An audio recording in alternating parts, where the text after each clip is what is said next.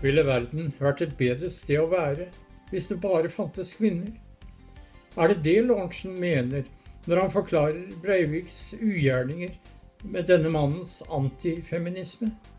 Det en kan si med sikkerhet, er at de fleste andre dyrearter nok vil være svært fornøyd med at det bare fantes kvinner, og således menneskearten på et øyeblikk utryddet seg selv.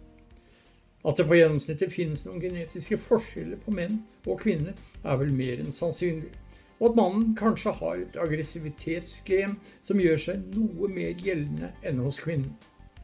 Men å forklare Breiviks morderiske handlinger med hans antifeministiske holdninger blir svært spekulativt og aldeles uvitenskapelig, og litt typisk for et lite forskningsmiljø som tror at det har funnet konklusjon, og som bevisst eller ubevisst bare tar i betraktning empiri som støtter den funne konklusjonen.